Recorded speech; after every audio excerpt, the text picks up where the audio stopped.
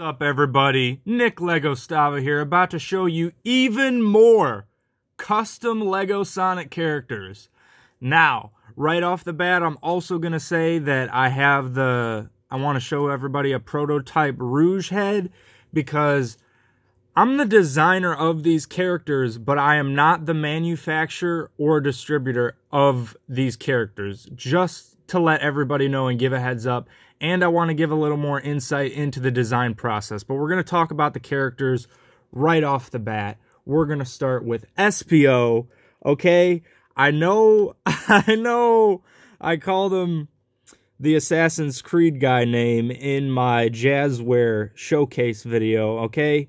I'm sorry. You know, it happens sometimes. Sometimes you forget the name. But here is Espio the Chameleon, okay? I just got him kind of confused because, you know, he's a ninja, and Ezio from Assassin's Creed.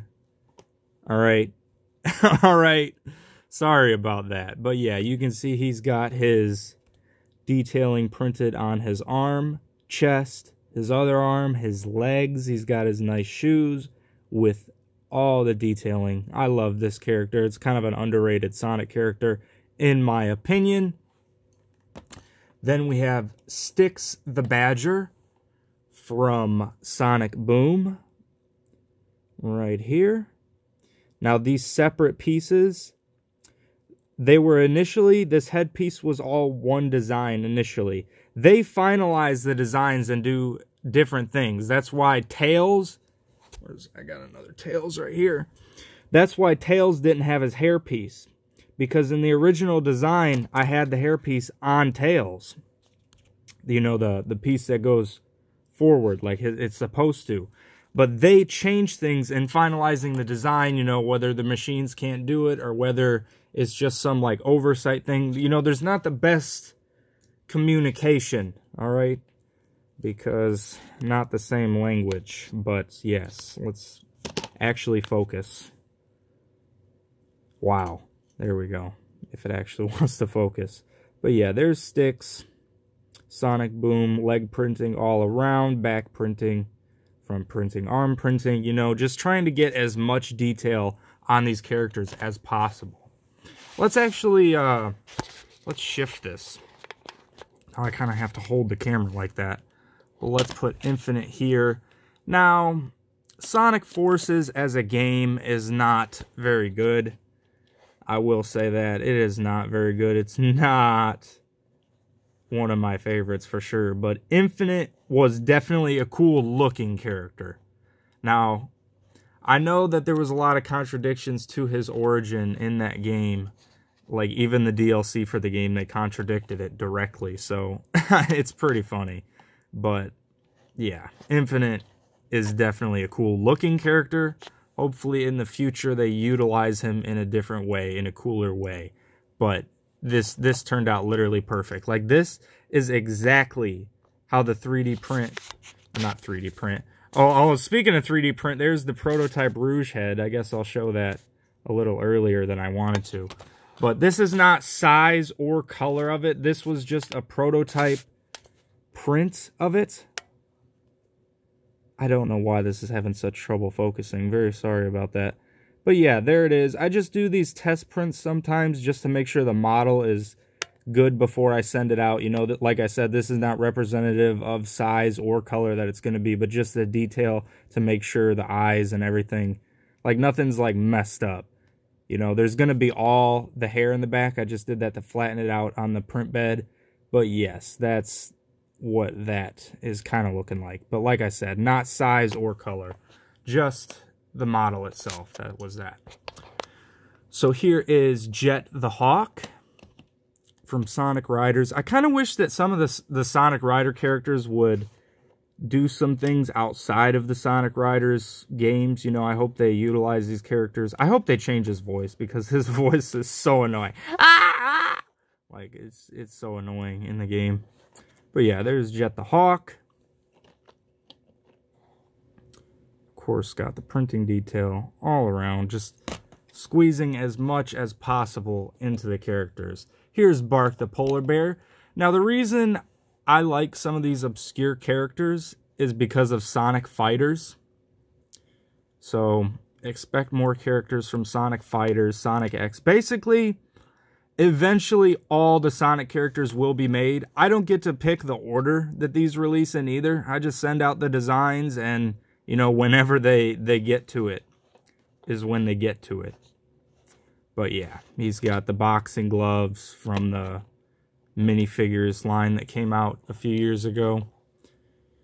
And yeah, an obscure character. Definitely when I get into doing Sonic stop motions, I'm going to make some of these more obscure characters more involved in the story. That's definitely something I want to do. Here is Chaos, the water creature.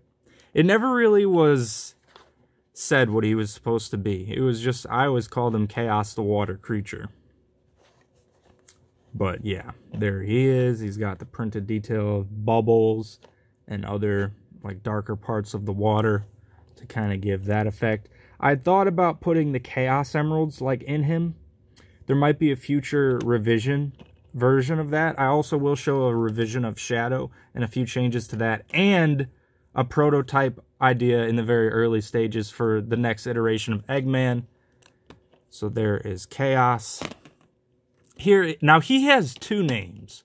He has Nack the Weasel or Fang the Sniper. Now, I always preferred Fang, calling him Fang, and I think he's just another cool, underutilized Sonic character, and he will be called Fang when I get to the stop motion series that I have planned. And there he is.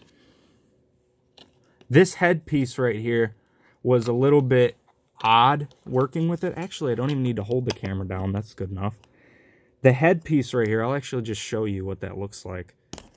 This peg I initially planned to have built up with just regular Lego studs, have it just be flat. But I think that this works out better. It's more structurally stable for the hat to then go onto the character. And then the Metal Sonic revision is where they changed up some things from my ideas for them. So the first version of Metal Sonic, where is he at? I got one right up here. This is supposed to be more metally, like, differentiated more from the regular minifigure line. But I wanted it to be more the Sonic Heroes head. They didn't end up doing that. The Sonic Heroes Metal Sonic head with the different spikes in it. So that's what this was supposed to be. But the the upgraded arms, they changed the proportions on as well. Like they, they finalized the design and they changed things from my design. So the the changes that they made to that kind of made this not necessarily exactly how I wanted it, but it still is an upgrade nonetheless, especially the legs are they look more metal sonic than just regular minifigure legs. So yeah, not a whole lot of changes, just a few color changes that they made. They made it lighter gray rather than the darker gray. But yeah, that's that.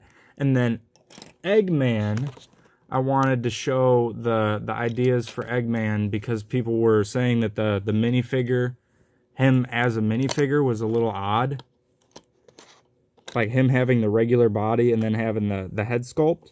So there's going to be, I'm going to have to change this. I'm going to have to find a way to change something around with the Dumbledore thing to where that head goes down, like changing the shoulders up.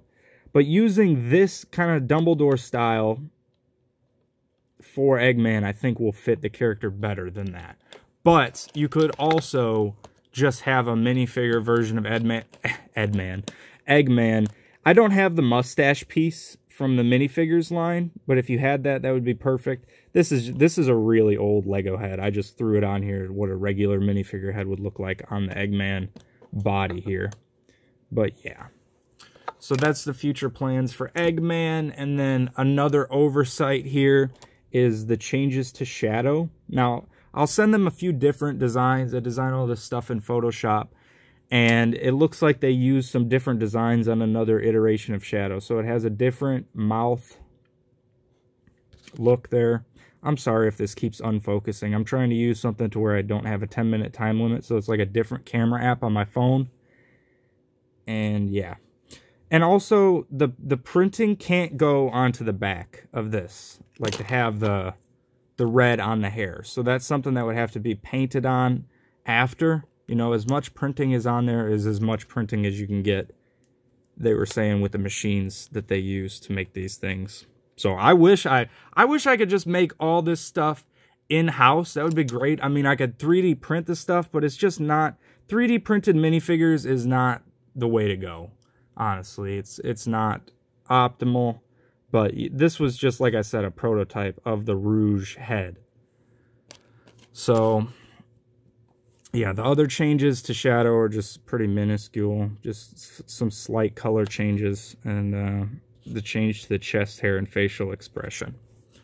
So there's that. I guess I'll show a group shot. Well, actually, since I took these off the roof, maybe I can get them on, on the roof. But tell me below what characters you would like to see, and I could tell you if there are designs ready for them. Because, like I said, Rouge design is done. Many of the designs are done for the characters. It's just a matter of when they're going to get them into production and when they're going to release them. And I don't have any any pull on that.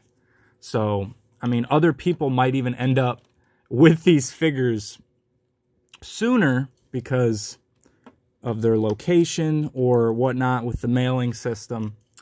But, yes. So, I'm not the mass distributor of this. I just design the characters. And I also design a lot of other characters as well, not just the Sonic characters. But I really do love a lot of different things that Lego just hasn't done. They just haven't done that, and they haven't, and they're probably never going to do it, but you still want these characters to interact with your Lego world. And I, as they're dropping off there, sorry about that. But yeah, tell me below what characters you would like to see and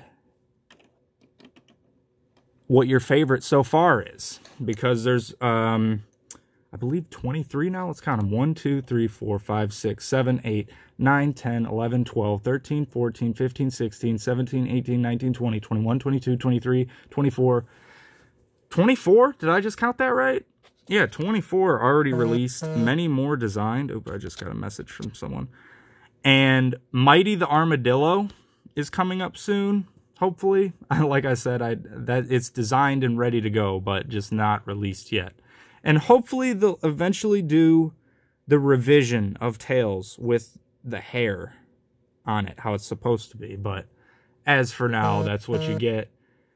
And um, also the revision of the the Sonic head hasn't made it to. I don't. I don't know if they've started production on that yet. But there you go. That's the showcase. I love Sonic and I love Legos. So have a great day. If you're new, watch other videos, decide if you want to subscribe. Have a great one. Peace. Bye-bye. Be sure to drop a like.